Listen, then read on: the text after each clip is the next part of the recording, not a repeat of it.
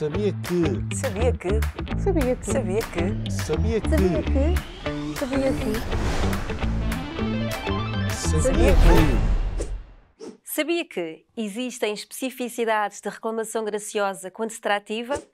Os sujeitos passivos e as pessoas responsáveis pelo pagamento do imposto podem recorrer hierarquicamente, reclamar ou impugnar a liquidação de IVA ao abrigo do número 1 do artigo 97 do Código do IVA.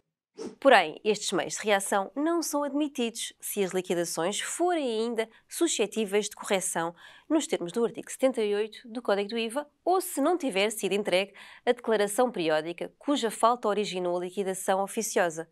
E atenção, que nestas situações os prazos contam-se a partir do dia imediatamente a seguir ao final do período referido nos números 3 e 6 do artigo 78 do Código do IVA. Para mais informações, consulte o nosso guia. Thank you.